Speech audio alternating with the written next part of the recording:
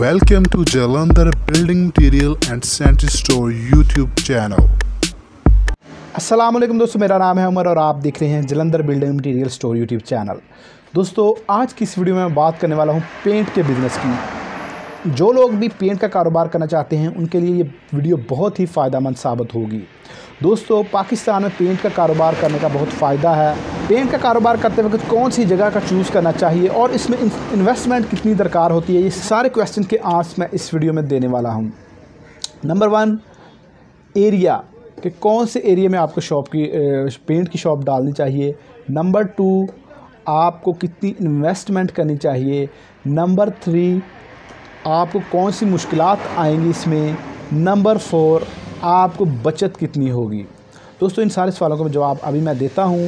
میرا اپنا پینٹ کا بزنس ہے اور میں پچھلے پانچ سال سے یہ بزنس کر رہا ہوں۔ فیکٹری میں جاب کرتا تھا، ادھر سے چھوڑ کے میں نے ادھر آ کے اپنا کام کیا اور الحمدللہ کافی اچھی خاصی ارننگ ہو رہی ہے۔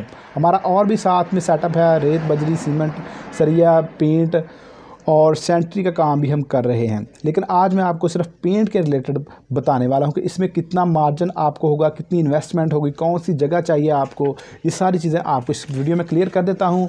اس سے پہلے آپ لوگوں سے ایک چھوٹی سی ریکویسٹ ہے کہ اگر ابھی تک آپ نے ہمارے چینل کو سبسکرائب نہیں کیا سبسکرائب کر لیں اور ساتھ میں لگے بیل کے بٹن کو ضرور دبائیں۔ دوستو بیل کے بٹن کو دبانے کا فائدہ کیا ہوتا ہے؟ ہم daily routine wise building material construction material اور پینٹ کے ریلیٹڈ ویڈیوز اپلوڈ کرتے رہتے ہیں۔ اس طرح جب آپ نے بیل کا بٹن دبایا ہوگا تو آپ کو سب سے پہلے ہماری ویڈیو کا نوٹیفیکیشن ملے گا۔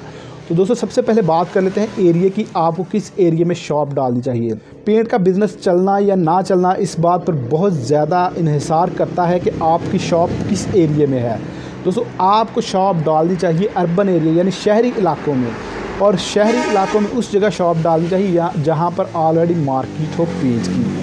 اس سے کیا فائدہ ہوتا ہے؟ جس بندے نے بھی پینٹ لینا ہوتا ہے، وہ مارکیٹ کا رخ کرتا ہے۔ نے یہ نہیں دیکھنا کہ ادھر کافی ساری شاپس ہیں۔ تو اگر ادھر شاپ زیادہ ہوں گی تو ادھر کسٹمرز کا اتنا ہی زیادہ ادھر رش بھی ہوتا ہے۔ تو اس لیے آپ نے کوشش یہ کرنی ہے کہ مارکیٹ کے اندر شاپ لیں، شہری علاقے میں شاپ لیں۔ اگر آپ کسی ولیج وغیرہ میں شاپ بنائیں گے تو اس کا بہت زیادہ نقصان ہوتا ہے۔ گاؤں وغیرہ میں پینٹ لوگ کم کرواتے ہیں اور شہری علاقوں میں پینٹ زیادہ کرواتے ہیں۔ اس طرح آپ کو جو ایریا ہے وہ بہت اچھی طرح سے چوز کرنا ہے۔ شہری علاقے کا انتخاب کریں اور مارکیٹ کا انتخاب انتخاب کریں۔ اور دوستو مین چیز اس میں شاپ آپ کی جو ہے وہ اپنی ہو تو اس سے بڑی بات ہی کوئی نہیں، لیکن آپ رنٹ پر بھی شاپ لے سکتے ہیں۔ آپ کی شاپ تقریباً دو سے تین مرلے پینٹ کے لیے چاہیے ہوتی ہے شاپ بڑی چاہیے ہوتی ہے اور سیٹ اپ تھوڑا اچھا دکھے، اس لیے تھوڑی اچھی اور بڑی شاپ چاہیے ہوتی ہے پینٹ کی۔ دوستو، دوسرے نمبر پر انویسٹمنٹ کی بات کر لیتے ہیں۔ دوستو، پاکستان میں پینٹ کا کاروبار کرنے کے لیے آپ کو اچھی خاصی رقم کی ضرورت پڑتی ہے۔ پاکستان میں اگر آپ پینٹ کی کوئی شاپ اوپن کرنا چاہتے ہیں ڈیلرشپ لینا چاہتے ہیں، تو آپ کو کم سے کم پندرہ سے بیس لاکھ روپے کی ضرورت پڑے گی۔ جی بالکل، پندرہ سے بیس لاکھ۔ پندرہ سے بیس لاکھ کا آپ سیٹ اپ لگائیں گے تو آپ پینٹ کی جو ورائٹی ہے، اس کو پورا کر سکیں گے۔ پھر بھی آپ کے پاس ایک سے دو دو آئٹمس ہی ہوں گی، نہ کہ آپ کے پاس وافر مقدار میں آئٹمس ہوں گی۔ پندرہ سے بیس لاکھ لگا کر آپ کے پاس weather sheet distemper enamel matt اس کے ہر شیڈ میں ایک سے دو گیلن یا چار گیلن ہی اویلیبل ہو سکتے ہیں، اس سے زیادہ آپ نہیں رکھ سکتے۔ تو دوستو، پندرہ سے بیس لاکھ سٹارٹنگ پہ آپ کو اماؤنٹ چاہیے ہوتی ہے۔ اگر آپ پینٹ کا بزنس شروع کرنا چاہتے ہیں اور اچھے طریقے سے شروع کرنا چاہتے ہیں، میں یہ نہیں کہوں گا کہ آپ تین تین لاکھ سے سٹارٹ کر لیں، پانچ لاکھ سے کر لیں۔ اگر آپ ویل سیٹ بزنس سٹارٹ کرنا چاہتے ہو تو پندرہ سے بیس لاکھ اس میں انویسٹ کرنا ہوں گے آپ کو۔ دوستوں مشکلات مشکلات اس میں بہت ساری آتی ہیں، لیکن دو سے تین مشکلات میں آپ کو بتا دوں گا کہ آپ نے کون سی مشکلات سٹارٹ میں فیس کر سکتے ہیں۔ دوستو سٹارٹ میں جو پرانی دکانیں ہوتی ہیں یا جن کے پہلے کے بزنس ہوتے ہیں، ان کا جو مال ہے وہ زیادہ بک رہا ہوتا ہے۔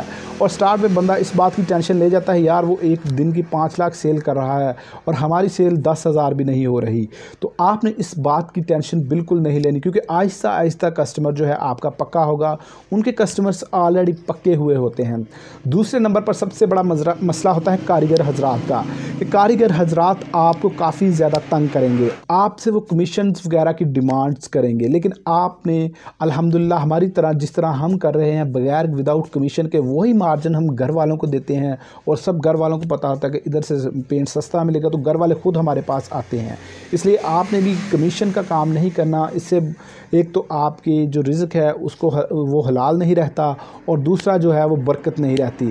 اس طرح آپ نے کاریگر حضرات کے پیچھے نہیں لگنا، بلکہ اپنا جو معیار ہے شاپ کا، وہ اوپر لے کے جانا ہے۔ اس طرح آپ کے، آپ کی شاپ کا نام بھی بنے گا اور کام کا نام بھی بنے گا اور رزق بھی آپ حلال کمائیں گے۔ دوستو، اب تھوڑی سی بات کر لیتے ہیں، اس، بزنس میں بچت کتنی ہوتی ہے؟ دوستو، مختلف کمپنیوں کے مختلف پینٹس ہوتے ہیں، ان مختلف ان میں مختلف بچت ہوتی ہے۔ اگر آپ بات کریں کمپنی کی برانڈ کی تو برانڈ جو بھی ہوگا، اس میں بچت کا مارجن کم ہوگا۔ اس میں دو سے تین پرسنٹ بچت ہوگی۔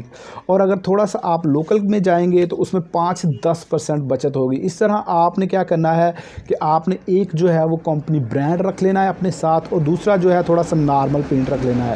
کیونکہ ہر بندہ برانڈ کو برانڈ کو افورڈ بھی نہیں کر سکتا۔ جس طرح آئی سی آئی ہے ایپیلیک ہے الوان ہے برائٹو ہے، یہ برانڈز ہیں، ان کو، ان کی قیمتیں کافی زیادہ ہوتی ہیں۔ لیکن آپ نے ان کے ساتھ لوکلز بھی رکھنا ہے، جیسے تین سو کی، چار سو کی ڈرمی پانچ سو کی ڈرمی یہ لوکلز ہوتے ہیں، ان میں پانچ سے دس پرسنٹ تک بچت ہوتی ہے اور جو ہوتے ہیں دوسرا اپنا برانڈز ان میں دو سے تین پرسنٹ بچت ہوتی ہے۔ تو اس طرح دوستوں میں نے آپ کو اوور آل پینٹ کے بزنس کا بتا دیا ہے۔ اپنے تجربے سے جو پانچ سال سے میرا تجربہ ہے امید کرتا ہوں کہ آپ کو ہماری آج کی ویڈیو سمجھ آ گئی ہوگی۔ اگر ویڈیو اچھی لگی ہے تو لائک ضرور کر دیں اور اگر ابھی تک چینل کو سبسکرائب نہیں کیا تو سبسکرائب کر دیں۔ ملتے ہیں نیکسٹ ویڈیو میں، تب تک اپنا خیال رکھیے گا۔ اللہ حافظ۔